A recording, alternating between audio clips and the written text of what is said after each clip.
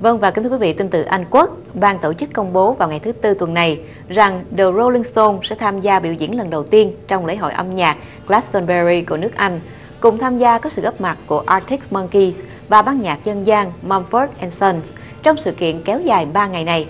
Sự xuất hiện của nhóm nhạc rock Anh kỳ cựu sau lễ kỷ niệm 50 năm hoạt động âm nhạc của mình, cuối cùng sẽ biểu diễn tại Glastonbury, một trong những lễ hội âm nhạc lớn nhất châu Âu.